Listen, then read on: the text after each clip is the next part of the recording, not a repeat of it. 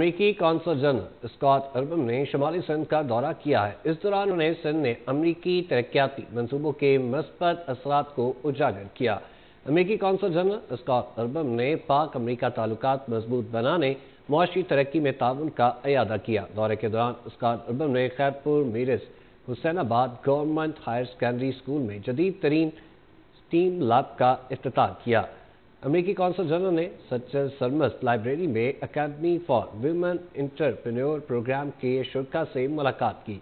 Scott Burman ने Sukkur IBA university में English works programme के डेढ़ सौ तलबा से भी मुलाकात की, जबकि जैकबाबाद में अमरीकी ताउन से चलने वाले Jacobabad institute of medical sciences का भी दौरा किया।